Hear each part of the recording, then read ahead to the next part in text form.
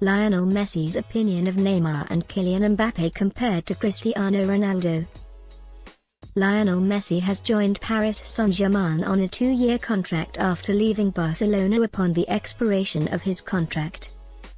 It was a deal that sent shockwaves through the world of football, with the best player in the sport leaving the club where he had spent the entirety of his career to move to the French capital. The move sees Messi link up with his former Barca teammate and close friend Neymar, who left the Camp Nou to move to Paris in a world record transfer fee of £200 million four years ago. It will also see him form a formidable attacking trio which is completed by Kylian Mbappe, who is the second most expensive player in the sport, having joined the Parisians from Monaco in the summer of 2017. There is little doubt that those three players are firmly established as among the very best in the sport, due to their ongoing excellence at the top level of football.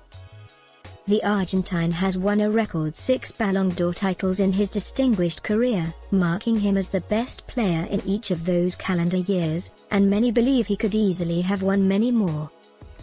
That is one more personal title than his long-term rival Cristiano Ronaldo, whom he faced for Barca against Real Madrid in a nine-year rivalry when the two established themselves as the undisputed best players in the world, and amongst the greatest ever to play the sport. Ronaldo's £100 million move to Juventus in the summer of 2018 brought an end to that particular era, with Messi now also departing La Liga to move to the French capital.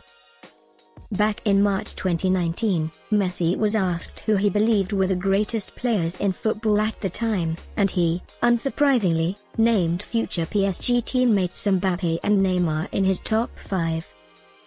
The Argentine did exclude himself and Ronaldo from the top 5 ranking, in and indicated that he believed they had transcended the level of the sport in recent years.